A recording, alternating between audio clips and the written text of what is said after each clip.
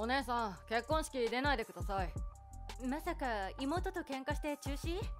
違いますよ。さゆみとは順風満帆です。それじゃあ海外挙式で2人だけで式を挙げることにしたの？そういうカップルもいるものね。そうじゃないです。結婚式は老舗のスカットホテルをもう予約してますよ。ああそうよね。式はちゃんとあげます。お姉さんに欠席してほしいんです。ええどうして？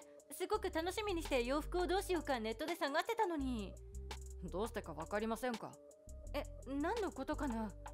お姉さんって中卒ですよね。そうだけど？しかも34歳で掃除のおばさんですよね。おばさんはやめてよ。今時はクリーンスタッフと呼ばれてるんですよ。僕東大出身なんです。昨日結婚の挨拶に来た時にそう言ってたね。すごいな。僕は東大に入って一流企業で働いているんです。努力家なのね。偉いわ。だからです。えごめんなさい。だから何？中卒はこれだから困るな。僕は東大に入るために必死になって勉強したんです。わかりますよね？そうね。中卒って要は努力もしない怠け者ってことですよね？はい？僕中卒なんて生き物を初めて見ましたよ。生き物って一応人間なんですけど？妹のさゆみが大卒だから当然お姉さんも大卒だとばかり思っていましたそれは早くに両親を失って私が働かないとならなかったから高校中退したのよ。それって単に言い訳でしょ？本当は高校も卒業できなかったアホですよね。留年したそうじゃないですか。まあそうなんだけど。両親のことを言い訳にして勉強が嫌で遊んでいただけでしょ？私だって本当は大学に行きたかったのよ。東大卒の僕が中卒なんかと身内になるのは困るんですよ。親族に紹介した時にみっともないじゃないですか。そんなこと言われても。僕の親族は全員大卒なんです。中卒の清掃員は恥だから結婚式に出ないでください。浩二さんそれ本気で言ってる？もちろんですよ。冗談でこんなこと言うわけないでしょ浩二さんって最初と印象が違うのね。昨日はとても真面目そうで誠実な方かなと思ったんだけどな。それを言うならお姉さんは見たまんまのアホですね。僕は誠実で真面目ですよ。だから東大を卒業できたんですこのことは妹も知ってるの？当然です。さゆみも僕と同意見ですよ。そうなんだ。彼女は以前から中卒の姉が恥ずかしかったそうです。だから昨日挨拶に行くまでそのことを言い出せなくてごめんなさいと泣いて謝られましたよ。彼女にそんな思いまでさせてかわいそうに。嫌味な小獣人になるまいと YouTube などを見て研究しようと思ってたのにまさかの学歴マンとか YouTube 程度で学べるものなんてありませんよ。そうかな。でも結婚式に私がいなくても大丈夫？当たり前でしょ。むしろいない方がいいんです。そこまで言うなら結婚式は欠席するけど。ありがとうございます。よろしくお願いいたします。私はふみか34歳です。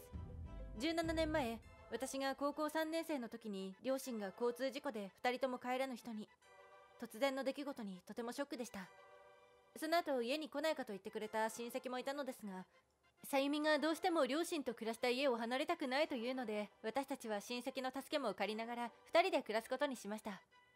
2人で暮らし始めたもののさゆみは中学へ行かなくなり私は心配で高校を何日も休みそのため出席日数不足で留年。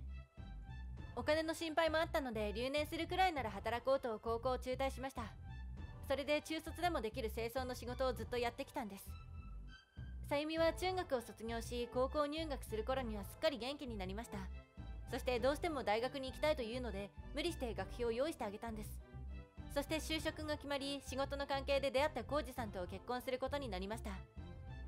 私は今までは妹が幸せになってくれることばかり考えて必死で生きてきましたがこれでやっと私の肩の荷が下ります。そして昨日2人揃って挨拶に来てくれたのです。でもまさかこんなことを言われようとはショックです。そしてこの後もさらに追い打ちをかけるようなことが起きたのです。1週間後。清掃員の姉なんて恥なんだから姉ちゃんは病欠ってことにして中卒がいたら場を乱すでしょ。浩二さんにも同じこと言われたから行かないわよ。よかった。まさかさゆみにまで言われるとはね。でも本当に私いなくて大丈夫？お姉ちゃんがいないからって困るようなことないもん。そう。あとさお姉ちゃんに生命保険と財産分与要求するわ。支払ってちょうだい。はい？お父さんたちが亡くなった時に生命保険入ったわよね。1000万くらいかしら。うんそのくらい入ったよ。私はもらう権利あるわ。それにお父さんたちの遺産も支払って。なんで突然そんなこと言うの？今までもらってなかったことがおかしいのよ。私は結婚して戸籍が分かれるんだからこの機会にちゃんと分けてちょうだいそれで結婚式の費用を払うことにしたんだから。そんなこといきなり言われても困るよ。まさか勝手に使ったんじゃないでしょうね。勝手にって確かに結婚すれば戸籍が分かれるけどこんな大事な話 LINE でするの？何で言っても同じことでしょ。だいたい今までにさっさと分けるべきだったのよ。お姉ちゃんの怠慢よね。だってお金の話をしようとしてもさゆみはめんどくさいって今まで聞かなかったじゃない。それは電気代だのガス代だのって細かい話でしょ？そんなのはあんたが勝手に支払いなさいよ。私にはねそんな些細なことはどうでもいいの。でも生活費ってとっても大事な話だよね。私はねもっと重大な財産の話をしてんのよ。今まで考えもしなかったくせに。私が気づかないでいたら浩二さんが教えてくれたの。彼はさすが東大出だわ。賢くて頼りになるの。本当に財産分与したいの？当たり前でしょ？でもってそれが終わったらお姉ちゃんとは絶縁する。えどうやって？絶縁する方法があるって浩二さんが言ってたわ。中卒の無能な人に親族がいるとみっともないから消滅させようって。ねえ本当にそれでいいの？お姉ちゃんは寂しいよいいに決まってるでしょ？だって私は大卒で美人のエリート。お姉ちゃんはブサイクで汚い清掃員。前から友達とかにも恥ずかしくって言えなかったんだよね。だから縁が切れたらせいせいするもん私はさゆみと一緒に暮らすために高校中退して働いてきたのにな。だからそういうねっとりとしたのも鬱陶しくて嫌。押し付けがましいのよね。そんな言い方しないでよ。二人きりの姉妹じゃない。だからその姉妹の縁をぶっちり切らせていただきます。これで私たちは赤の他人よ。本当に本当にいいのね。だからいいんだって。ああこれでさっぱり。保険金と財産分割よろしくね。結婚式当日の朝。ちょっとどういうことよ。あれさゆみ久しぶり。今日結婚式で忙しいんじゃないの？今支度してる最中よ。そうなんだ。忙しそうだからじゃあ。ちょっと待て。なんで？絶縁して私たちって赤の他人になったんだよね。そうよ。でなんで請求書が送られてくるのよ。弁護士から届いたんだ。よかったあのね私は財産分与をしろって言ったの。しかも2415万って何？高校から大学までの学費975万と一緒に暮らしていた間の生活費1440万を合わせて2415万。計算合ってるでしょ？私はお父さんたちの保険金と財産をよこせって言ったのよ。なんで私が払わないとならないのよ？だってお父さんたちの保険金は借金で消えたんだもん。は？お父さんたちが事故に遭った時ってお父さんが退職して起業した直後だったんだよね。起業？何のこと？お店をやるって言って店舗借りて内装工事とかをするのに1100万の借金があったんだよ。だからそれを支払ったら保険金なんかなくなったんだよね。むしろ100万の赤字。あの時はびっくりしたな。嘘。貯金は？少しぐらいあったわよね。貯金も開業資金に全部つぎ込んでいたから全くなかったんだよねでも家があるじゃない。あれお父さんの名義でしょ？あの家はもともとおじさんの家を借りてるだけだよ。おじさんが恋でずっと破格の家賃で貸してくれてたからなんとかやってくれたんだよね。そんなじゃあ無一文ってこと？うん。それでしばらくは他の親戚も助けてくれたけどいつまでも頼るわけにはいかないでしょ？だから私は働くことにしたんだよ。そんなさゆみが高校卒業した時にそういう話をしようと思ったんだけどめんどくさいことは嫌だって言って聞こうとしないんだもん。だってこんな大事な話だと思ってなかったから。さゆみってそういう大切なことはみんな人任せだからね。それでなんで私に請求書なのよ。だって赤の他人なんでしょ？これまでは姉妹だと思ったからさゆみの学費や生活費を頑張って出してきたけど他人にお金は出さないよ。何言ってんの姉妹でしょ？姉として支払ったものを今更請求しないでよ。姉妹じゃないって言ったの。さゆみだよだから2415万よろしくね。そんなの払えるわけないでしょ。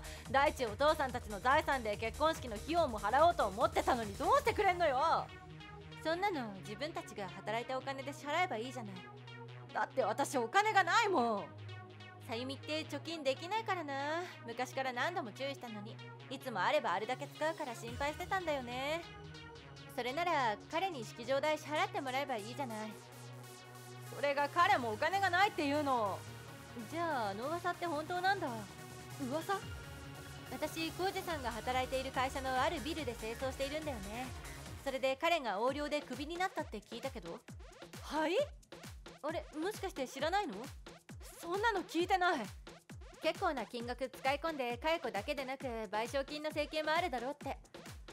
もしかすると警察のお世話になって塀の中に入ることもあるのかな？